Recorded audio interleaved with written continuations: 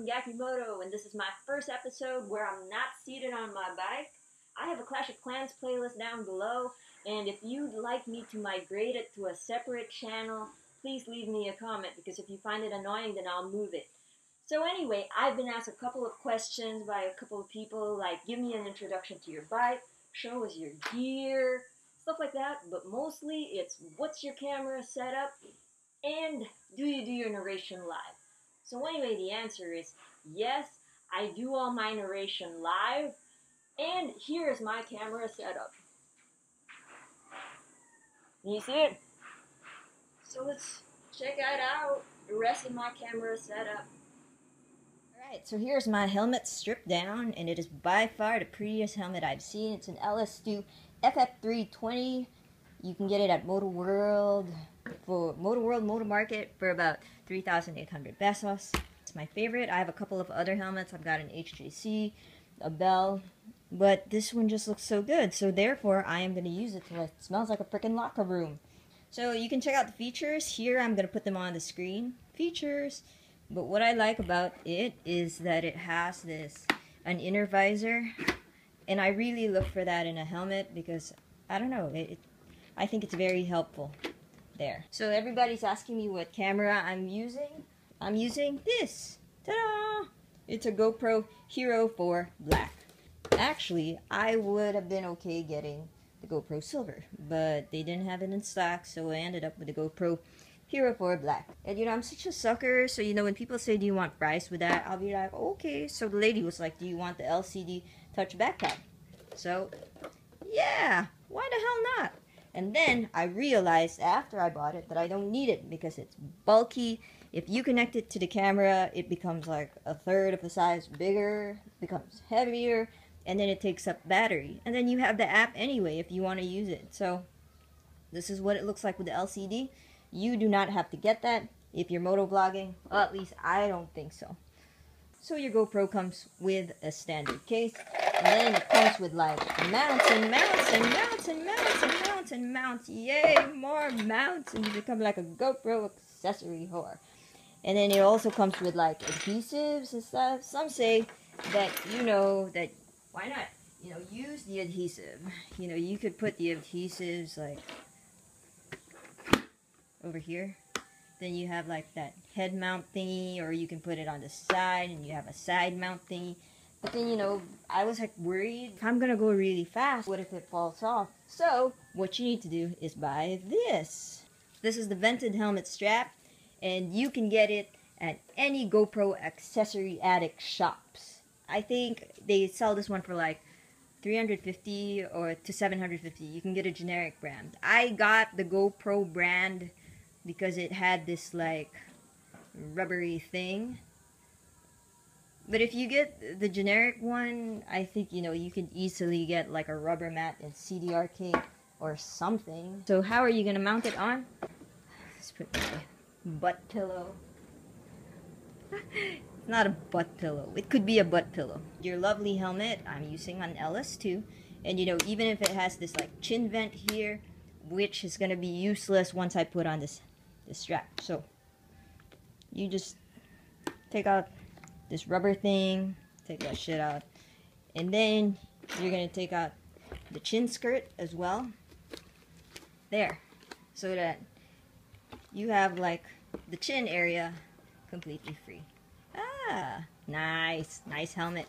All you have to do is tie this on here like so, okay? Put it in there. And then the other one, just wrap it around. I mean, you're smart, you can figure it out. So when you have your vented helmet strap on, strap strapped on, when you have your strap, we anyway, when you have your vented helmet strap strapped on, okay, then you know you just mount it here, but then you know it will be like sideways, and you cannot adjust that. Well, you probably can, but it's such a hassle. So this is where the mountain, mountain, mountain, mountain, mounts of happy mounts comes in. You're to look for this, the J mount, and the three-way pivot arm. Comes with a GoPro, so you don't have to buy this. All you need to do is buy the vented helmet strap. Put the three-way joint, and there you go. You put on your camera, you can easily mount your GoPro onto your strap on. I mean, your vented helmet strap. Ta-da! It's fixed! There! You can start motovlogging. Started with a waterproof case because, you know, you think if it rains in the Philippines, you know, it's a tropical country, it rains. So, you have the waterproof case. But then what happens is the audio is so bad because the microphone is inside. So what I did was I changed to the open back case. So you can easily just change that. It's so easy with the GoPro, you just pop it off. There, that was easy. Put your camera on, right? The thing with the open back case, I mean, it's good if your camera, you know, if the weather is hot, it keeps, you know, th there's airflow. But then, you know, when you're driving, then all you hear is the wind. And that's where the audio gets so bad. This is where the microphone comes in. Over here, the standard lapel mic, you can get it at a pro audio shop. Mine is a Boya. Boya! Woohoo! The thing with my Boya is that, you know, it needs a battery for it to work and you need those watch batteries and then if you forget to like turn it off then you run out of battery and that's where you know like I have like Wow, like batteries, like so many batteries. Anyway, you can get the actual, I think GoPro has an actual lapel mic, which you can buy, you can easily find it online. Currently, they're selling it at You Found It. You know, get it? You found it? Did you find it? You can find it and you found it. YouPoundIt.com. You go check out their website. I also got my micro SD card over there. The problem with the microphone is if you're using a standard GoPro case, you cannot put the jack inside. It just doesn't fit. Damn it. So this is the next problem is you need to get a skeleton case. I mean, if you want to connect anything, you need to get a skeleton case. Very smart, GoPro. Very smart. You're turning everybody into an accessory whore. It's like I have to buy more accessories and more and more because I don't have enough. But what you can do is you can get a generic case, and that's what I did was I got this lovely blackout generic case on Candid Shoppe. I will put their link down below. You can order it online here in the Philippines and they will deliver it to your house within within the week or within three days or something like that. You can get a cheap case and drill a hole just like what I did over here. You can drill a hole and it's so professionally done. Yeah, it's like a perfect, perfect lines.